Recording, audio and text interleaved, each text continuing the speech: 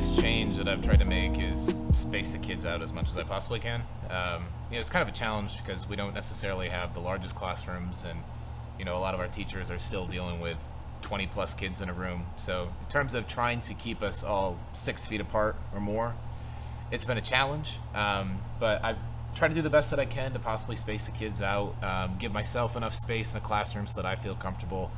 Um, but I think the biggest thing is trying to give them uh, uh, enough tools uh, in terms of sanitation to, to feel comfortable in the classroom as though they kind of at least can control the, the small space that they're in. So I've rearranged my room so that my desks are no longer in groups, they're in rows now. And at the end of every class period, we stop and wipe down every single surface to make sure it's clean for the next group of students.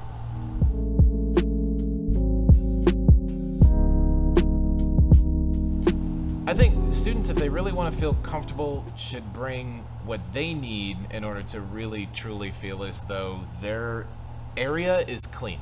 And so, what I mean by that is we have tools available for them, we have resources available for them, uh, but to always make sure that they're feeling comfortable and safe and sanitize, sanitize in their own personal space.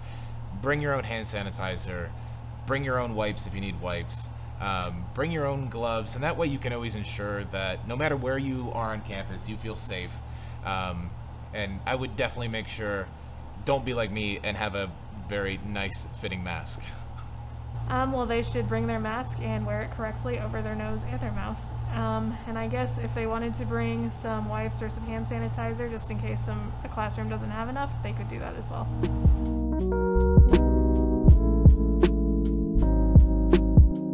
I think the only way I can make school as normal as possible is to be as normal as I possibly can in my normal teaching routine. And, I think what I mean by that is um, I've got to make sure that I bring the same energy that I bring no matter what. Uh, I think if there's one thing that I pride myself on uh, in my teaching, I'm going to try to give those kids as much as I possibly can for that block of time.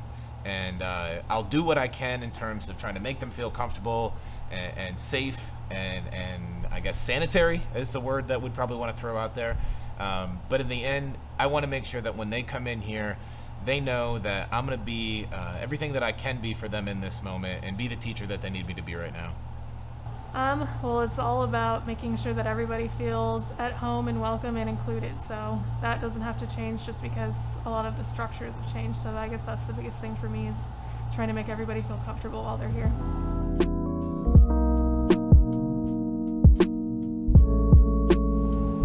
Transition to teaching e-learning in brick and mortar has been a struggle, I think, for all of us. Um, I think if we have to focus on one task at a time, we can do that job very effectively. But having to try to try, to split ourselves into two separate areas, it's it's a big challenge. And I know it's a challenge for me to be able to give a, a high quality of education to my my kids online, and still take care of the kids that are actually in my classroom.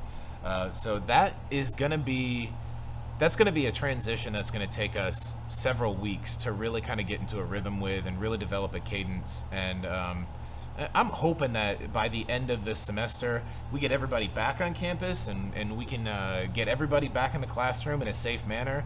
Uh, but I know that by the end of this semester, we can at least get into a good rhythm, and the kids that are online and at home can still get a, a really good education too.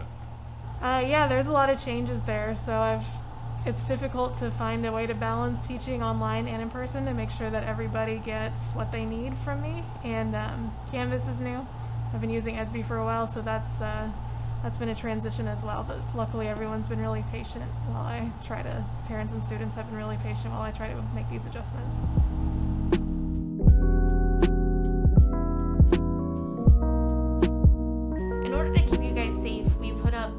Directional signage in the halls, made some hallways one way. Um, lunches are just grab and go.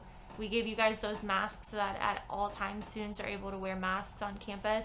And daily, the teachers are getting um, replenishments of their cleaning supplies for their classrooms just to, to help them keep their rooms sanitary.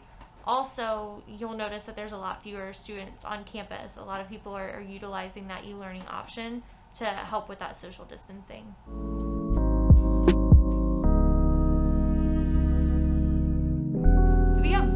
Specific guidelines from the district as far as the, the kind of isolation of that student following up with the contact tracing, documenting everyone who could have come in contact with that student, um, just following certain procedures to make sure that everyone is aware of their own kind of status as far as health and safety goes. And we follow that procedure anytime that there's even a question.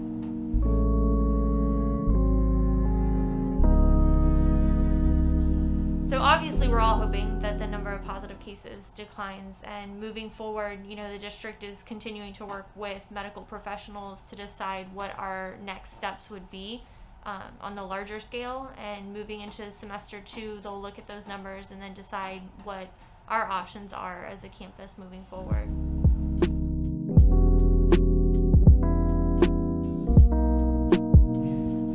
Into the second semester, the school board, the state level politicians, as well as our superintendent will all be meeting.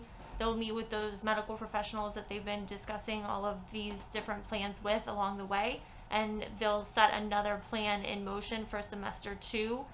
Whether that is, you know, everybody's on campus or continuing with the e-learning will be totally dependent on what those medical professionals say and kind of what our status is health wise at that time.